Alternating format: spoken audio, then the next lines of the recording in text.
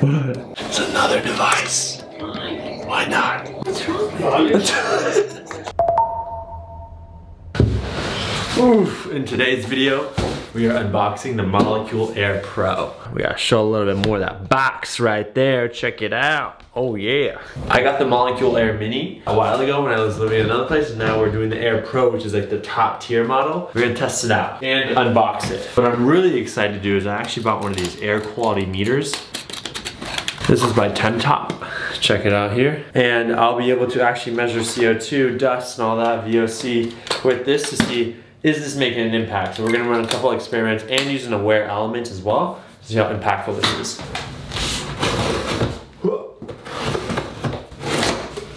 Oh, that is a clean unboxing right there. I promise we are on a mission. Put it in a big space. The Air Pro will work in any room, but giving it space away from walls helps maximize air circulation. Start here to set it up. All right, it's got a process. Push down the counter, rotate and lift. PECO, so it uses a PECO filter, not HEPA. It's like their proprietary technology. It's widely distributed. People say it's scam, some people say it's really good. I don't really know. We're gonna test it for ourselves and find out in a non-scientific way. Okay, so this one also has an app, which is pretty cool. Check it out, some features to use there. We got our manual, and inside, we pull this sucker out. This is a very big little guide. All right, here is the sucker. There it is. In its form, it comes in a bag. We shall keep the box. Notice a fancy bag we got here. Bada bing, bada boom. This is like a like a legit carrying bag. It's got Mo on the front for Molekule. Like I wonder what else you could do with this. The real question is how do we get it out of the bag? It's like the air filter condom right now. There we go. It's got a handle. This thing is freaking huge, man. Damn.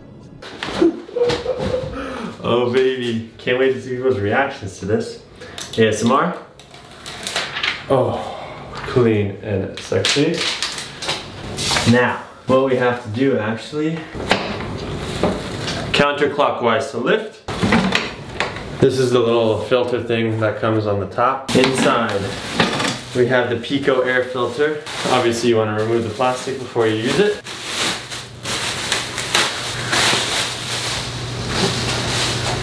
Photoelectrical oxidation. This is kind of how the air filter operates and works. This is what it looks like around and about it. And inside of this massive thing, it's rather empty. Literally, that is all that goes inside is that PECO filter. And you can see it's all it really is. And you have these tiny vents on the bottom, the base with the cow power cable as well, which comes in a box. I love that. Less plastic. Use low energy to keep fresh flowing. There we go. Toss that sucker in. Oh wow, it just like line, like floats. Air filter floats. Take this, align the red line. So it falls into place. Push down, boom. Unwind the cord. How does that work? Oh, there we go. Okay, so it's got a nice cable organizer on the bottom. Love that, it's well thought out. But now it is up and running. Let's plug the sucker in and see how it works. Somebody turn it on! Boom, it is on. It is powering on. Check this bad boy out. There it is. It says Mo. We are live. We are booting up. Okay, well that is frustrating. I tried password resetting and all this stuff, it didn't work, so I submitted a ticket to Molekule Online and unable to get into the app, so we can't show you that, but what I can show you is that it's on and that the light, as you can kind of tell here, it's kind of like a blue light that's going on right there. That's, I think, the UV light to stop bacteria. You have this screen here. You can kind of see the air quality right there. It's got the PM levels 1, 2.5, 1.0, moderate. Auto protect is standard. PECO filter is good. It's got some device details and I guess Wi-Fi. Let's see how does that work. This touchscreen is not bad. Down the app. Well, it's not working. So what am I supposed to do? You the dust levels here. I actually got my little device here, handy dandy. So let's see what this guy's saying. This is also saying moderate, which is good. Now if we put it right outside where the fan is blowing, is that better? Let's see, let's see if we go by the door. It should get a little worse. Not too much, but I'm hoping. So What time is it right now? Oh, there you go. The numbers went up. So the numbers went up, right? From this dust that we just did right over here. They're going up and up. Now I'm gonna leave this here to let it clean out. But it is currently 6.33 right now. And I'm gonna run this test. Let's see how it goes. I'm gonna let, I'm gonna close the door and see what happens here. So you can see the numbers are going up, the PM levels. Is all from that dust that we just did. But I'm gonna close this door here and see if the dust levels can change in this tiny room. It is rather small, so check this out. This is the size. We'll close everything. The windows are closed, doors closed, and we'll come back in like 20 minutes and see what happens. Hey Siri, set a timer for 15 minutes. Okay, 15 minutes and counting. Okay, the numbers are already dropping from when I moved it away from the window. That's good. Look, uh, the PM levels are getting to good, which is really good because this is the air that's coming right out of the filter. So while we wait, I'm gonna go test this other Coway filter that we actually have in that room and see how it's performing. Put this on.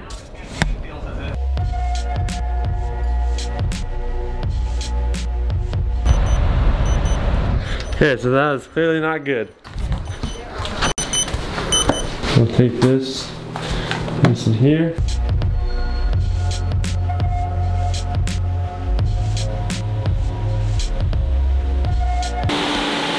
Okay, that is not good either. I don't know if it's when you're turning your air filter on really high and you're leaving it right by the fans that this thing goes absolutely unhealthy. So not sure if that's a normal thing. I'm gonna leave this in the room and have this run and we'll come back in our time limit and see if the air quality has dropped. I think it was like around 13. Let's, we'll see if it dropped.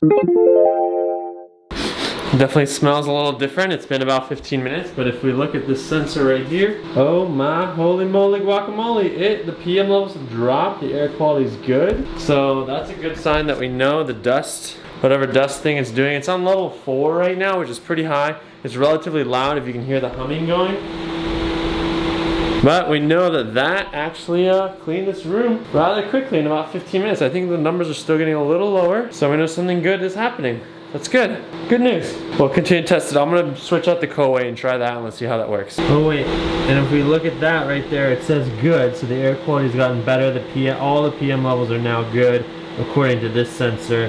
We're gonna switch this actually back to standard and it's gonna get a little quieter. But now this room is relatively clean, so we need to make the air lower quality. So I'm gonna open this window, we'll turn on the fan, get some dust moving, and test it with the second one. We have the polluted air outside, which is stunning and great for this experiment. We are now around 20 ppm for 10 and 2.5 in particle matter and we're measuring this. Obviously with this, it's moderate right now. We left the windows open, and that's a great sign, so now we will close. The air filter was actually slightly on. So I'll put it on its highest setting now. Boom, boom, we can hear it. This is the Coway Air Mega, like the cheap one without the app. Got it off Amazon. Now we will leave this again, same approximate spot. I'll close the door and we'll see how this goes.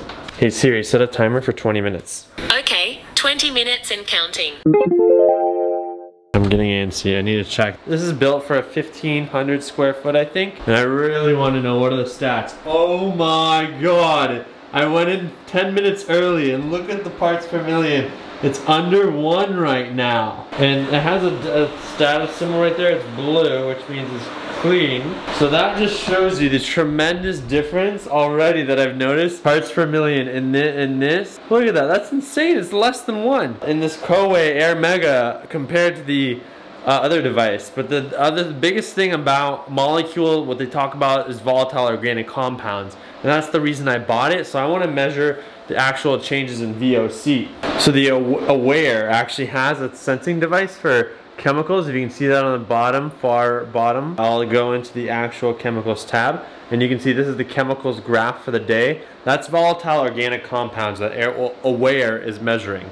And what I want to do is test with Awair if the volatile organic compounds will actually decrease more than with the Coway. I think this one also measures it too. It's into the particles tab. I'm gonna just double check and do a little more research on that, but we'll test that out.